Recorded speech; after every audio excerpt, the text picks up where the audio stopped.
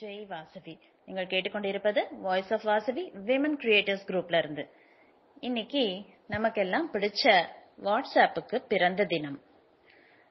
Jane Kom Brian Acton இந்த ரெண்டு பேரும் தான் வாட்ஸ்அப்புங்கிற தொழில்நுட்ப புரட்சியை உருவாக்கிய தொழில்நுட்ப வல்லுநர்கள். கோமுக்கு இப்போது வயசு நாற்பது. ஆக்டனுக்கு வயது நாற்பத்தி நாலு. மூணு வருஷத்துக்கு முன்னாடி ஃபேஸ்புக் நிறுவனம் இவங்க கிட்ட ஒரு லட்சத்து இருபதாயிரம் கோடி ரூபாய்க்கு வாட்ஸ்அப்பை விலைக்கு வாங்கியது. யார் இவங்க? ஜேன் கோம் உக்ரைன் நாட்டை சேர்ந்தவர். வறுமையின் காரணமா பதினாறு வயசுல கலிபோர்னியா மாகாணத்துல அமெரிக்காவில் வந்து செட்டில் ஆனார். பத்தொன்பது வயசானப்போ கோமுக்கு சொந்தமா ஒரு கம்ப்யூட்டர் கிடைச்சது. கூடவே இணைய இணைப்பும் கிடைச்சது.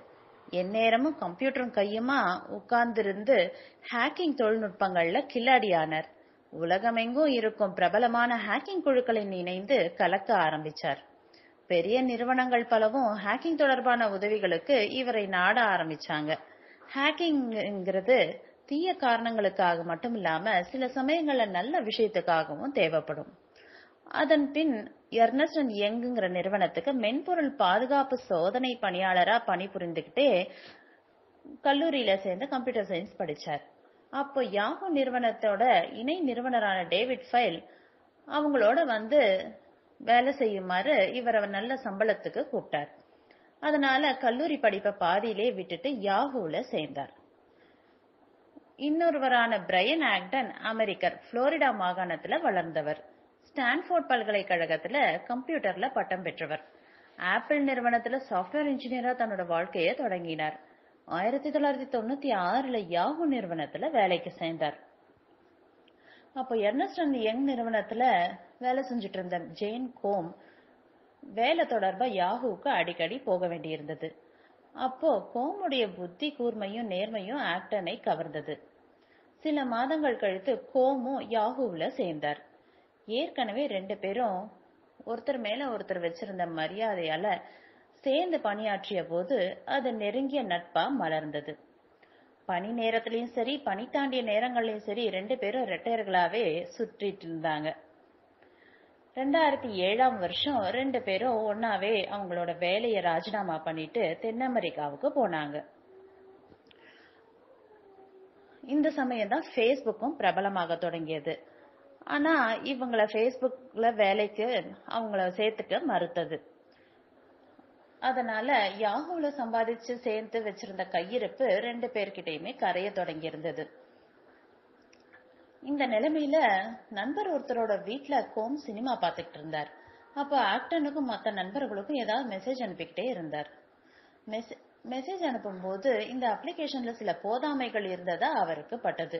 அது இல்லாம ஒவ்வொரு எஸ்எம்எஸ்க்கும் காசு கட்ட வேண்டி இருந்தது மெயில் செக் மெயில் செக் செய்ய பயன்படுத்துற இன்டர்நெட் கனெக்ஷன் மூலமா கூடுதல் காசு செலவில்லாம மெசேஜ் அனுப்பக்கூடிய வசதி இருந்தா நல்லா இருக்குமே அப்படின்னு அவருக்கு திடீர்னு ஒரு ஐடியா தோணிச்சான் உடனே ஆக்டன் கிட்ட பேசினாரு. சில டெவலப்பர்களோட கலந்து ஆலோசிச்சு அவங்க புதுசா உருவாக்க இருந்த அப்ளிகேஷனுக்கு வாட்ஸ்அப் அப்படின்னு கோம் தான் பெயர் வச்சாராம். நம்ம பேச்சை நீட்டிக்க அடிக்கடி மெசேஜ்ல வாட்ஸ்அப் அப்படின்னு கேட்போம் இல்லையா?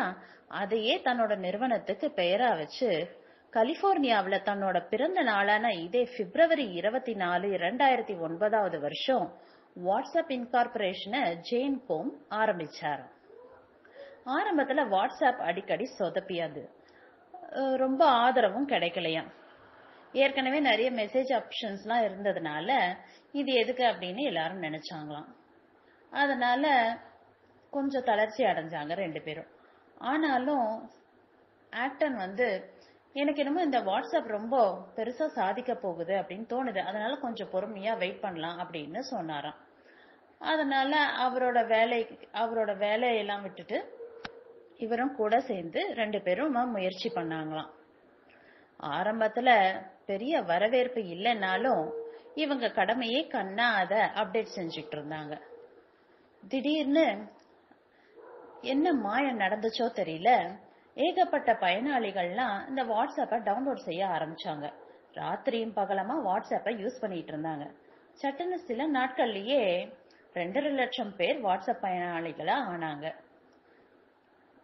அதுக்கப்புறம் தான் சில நண்பர்கள் கிட்ட பேசி ஒரு கோடி ரூபாய்க்கு மேல முதலீடு திரட்டி பிசினஸ் பெருசாக்கினாங்க.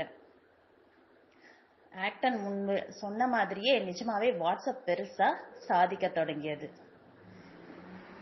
இப்போ கடந்த எட்டு வருஷங்கள்ல வாட்ஸ்அப் அடைந்திருக்கும் வளர்ச்சி யாருமே யூகிக்க முடியாதது.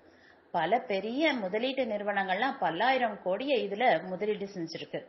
ஃபேஸ்புக் நிறுவனம் வாட்ஸ்அப்பை எவ்வளவு கோடி ரூபாய் கொடுத்து வாங்கினாங்கன்றத நான் முதல்லயே சொன்னேன் உங்களுக்கு.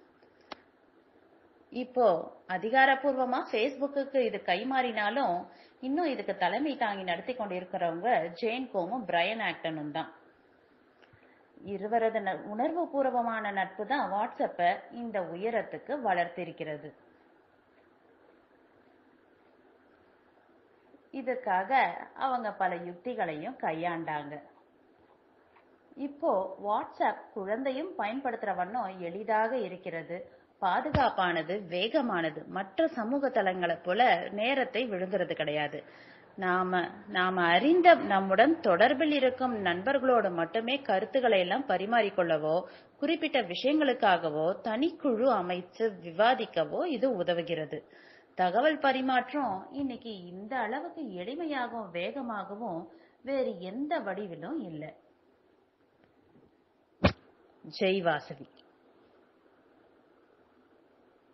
ஜெய் வாசவி. நீங்கள் கேட்டுக்கொண்டிருப்ப